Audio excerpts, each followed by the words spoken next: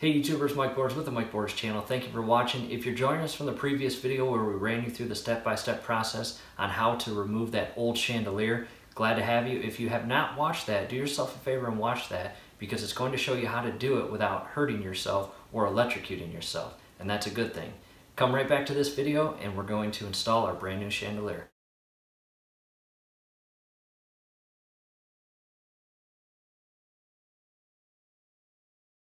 Our bathroom is breaker number 14. It is now off.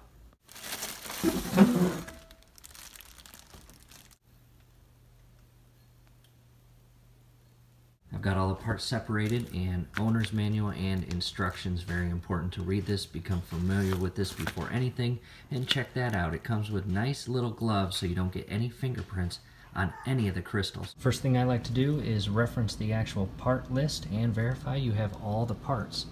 A couple things to point out with the new chandelier, you have your ground wire in a separate bag and then you have additional wires that are the same color and very similar to the previous chandelier wires. And the very last step that we did in the previous video when we removed the previous chandeliers, we removed this mount. Now with the new chandelier, it will be the first step we do. We will remount this mounting plate and secure it. And these parts should look very familiar as they are very similar to the previous chandelier and it even came with new screws and wire caps. Back up at the top and what we'll do is we will secure this mounting plate in the exact location the previous one was.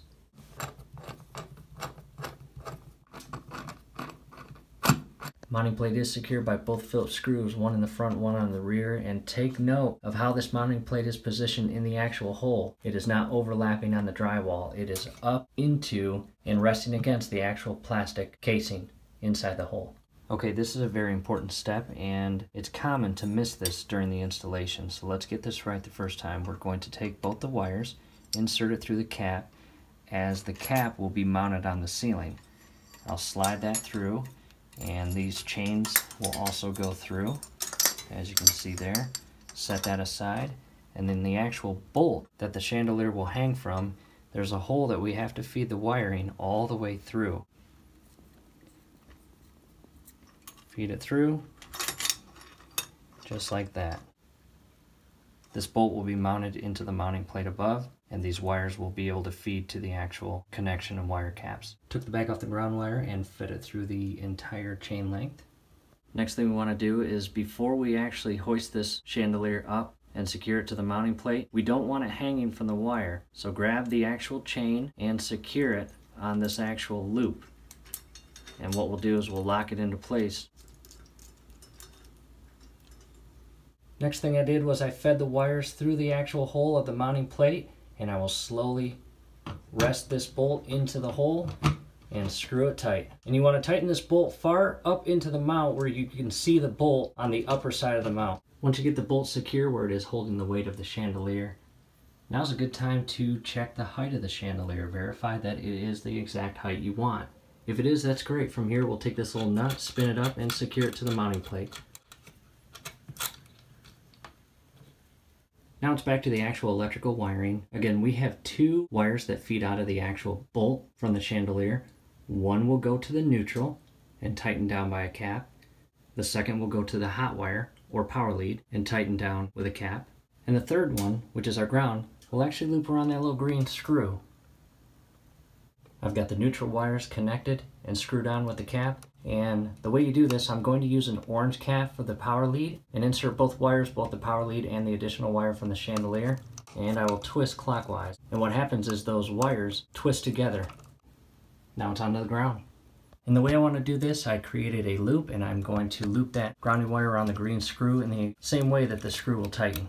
Just like that. And from there, I'll tighten it with the flathead screwdriver.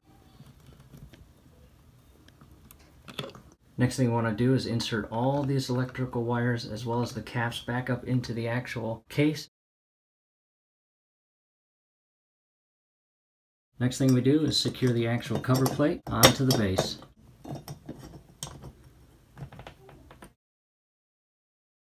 Next we'll grab the actual plastic candle covers for the lights and we will insert all of those.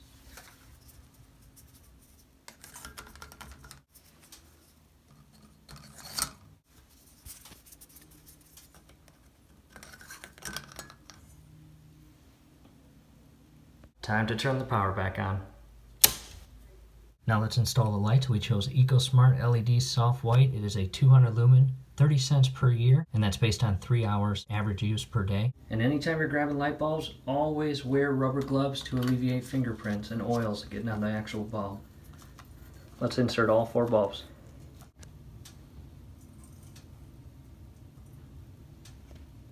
Back to the light switch, I'll turn it on.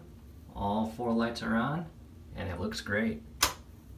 From here, we will finish the chandelier by putting on the white glove and hanging the additional crystals.